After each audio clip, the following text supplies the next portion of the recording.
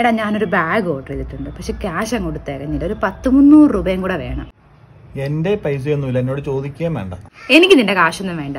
നീ എന്തെങ്കിലും നമ്പർ ഇറക്കിയിട്ട് ഇന്നാൾ അമ്മയുടെ നിന്ന് വാങ്ങിച്ചു തന്നില്ല? അതുപോലെ കുറച്ച് കാശ് ഒപ്പിച്ചു തരാം. എനിക്ക് പറ്റത്തൊന്നുമില്ല. പണ്ടങ്ങാണ് സെന്റിമെന്റ് അടിച്ചപ്പോ ഓമന പൈസ എന്നും പറഞ്ഞുകൊണ്ട് എപ്പോഴും ഇപ്പൊ നടക്കുന്ന കാര്യമൊന്നുമില്ല കേട്ടോ. എടാ അങ്ങനെ പറയല്ലേ. എങ്ങനെയെങ്കിലും ഒപ്പിച്ചാടാ എനിക്ക് അത്രയ്ക്ക് അത്യാവശ്യമായിട്ടാ. നോക്കട്ടെ. ഓമനാമ എന്തി അമ്മ എപ്പറ തുണി അലക്കുക? എന്നാ പിന്നെ കാര്യം എളുപ്പമല്ലേ?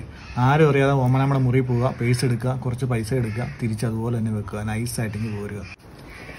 എടാ നമ്മൾ വിചാരിക്കുന്നവരല്ല. അമ്മയുടെ കുറെ കാശൊക്കെ ഉണ്ട് കേട്ടോ.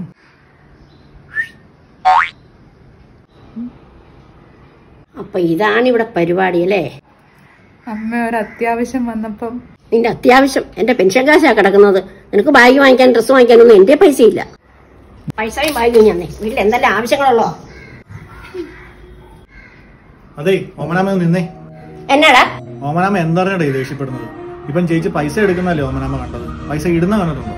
ചേച്ചിയുടെ ഒരു ഇരുന്നൂറ് രൂപ കിട്ടിയുണ്ടല്ലോ നൂറ് രൂപ എന്റെ അമ്മയ്ക്ക് കൊടുക്കണമെന്ന് പറഞ്ഞിട്ട് ഓമനാമയുടെ പേസിൽ ഓമനാമ അറിയാതെ കൊണ്ട് ഇടുന്ന ഞാൻ കണ്ടിട്ടുണ്ട്. ഇതുമല്ലേ ഓമനാമയ്ക്ക് അറിയാവോ? ഞാനോ? എപ്പോ? എന്റെ മനസ്സിലുണ്ടല്ലോ ഓമനാമയുടെ സ്ഥാനം ദൈവത്തിന് തുല്യമായിരുന്നു. പക്ഷെ നിങ്ങൾ ഇപ്പൊ കാണിച്ചത് എനിക്ക് ഒരിക്കലും മറക്കാൻ പറ്റത്തില്ല. ഇനി ഈ വീടിന്റെ നട ഞാൻ ചവിട്ടത്തില്ല കേട്ടോ? ഇവനിത് എന്നാ മാങ്ങാത്തോലി ഈ പറയുന്നേ? ഇവൻ പറഞ്ഞൊക്കെ സത്യമായിരിക്കോ? എനിക്കാണോ തെറ്റ് പറ്റിയത് നടിമോളെ ഇത് വെച്ചു. ഇപ്പോഴാ എനിക്കെല്ലാം മനസ്സിലായത്. അമ്മയല്ലേ പോട്ടെ. ഓക്കെ അല്ലേ